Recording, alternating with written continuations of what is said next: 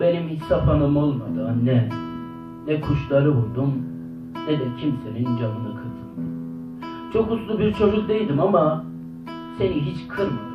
Hep boynumu kırdım. Ben hayatım boyunca bir tek kendimi vurdum. Suskun görünsen de fırtınalı ve mağrurdum anne. Bir mızrak gibi aynada hep dik durdum anne. Ben sana hiçbir gün laf getirmedim. Leke sürmedim. Ama göğsümü çok hırpaladım. Kalbimi çok yordum. Ben hayatım boyunca en çok kendimi sordum. Benim hiç sevgilim olmadı anne. Ne bir yuva kurdum, ne bir gün şansım güldü. Öpemeden bir bebeğin gidişine tükendi gitti çağım.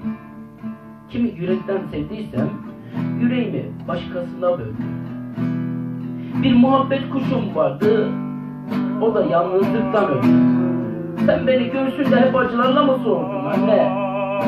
Yoksa evlat diye koca bir taş mı doğurdun anne?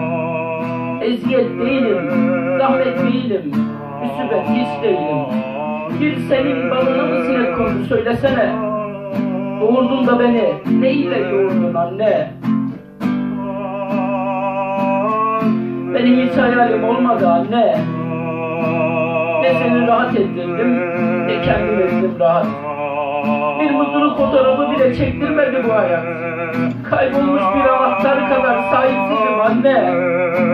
Ne omuzumda bir dost dedi, ne saçımda bir şefkat. Sanki yollardan akan şu faydasız çamurdum anne.